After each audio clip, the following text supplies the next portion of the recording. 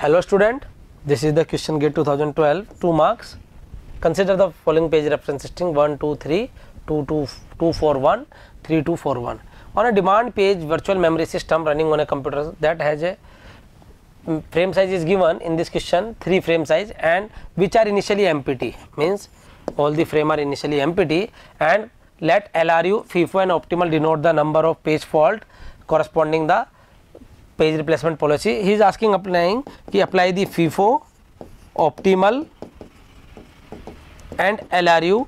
Then what is the relation between the page fault of FIFO, optimal and LRU? Here you can see the reference string is 1, 2, 3, 4 that is already mentioned here 1, 2, 3, 2, 4, 1, 3, 2, 4, 1, 1, 2, 3, 1 2 3 2 4 1 3 2 4 1 1 2 3 2 4 1 3 2 4 1 and you apply the optimal page replacement policy. Whenever you apply the optimal page replacement policy you will get the 5 page fault how we calculate the optimal I already discussed with you some previous questions. You can check also.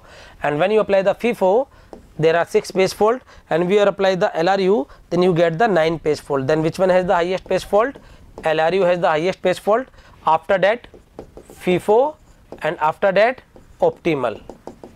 So, here you can see optimal has the least least page fault then FIFO then or highest in optimal. So, B is the highest in LRU B is the right answer. You will take the frame size of 3 and apply the reference string 1 2 3 2 4 1 3 2 4 1 clear Thank you. If you really like the video, please hit the like button, share the video, subscribe to our YouTube channel and press the bell icon for the latest updates. Thank you.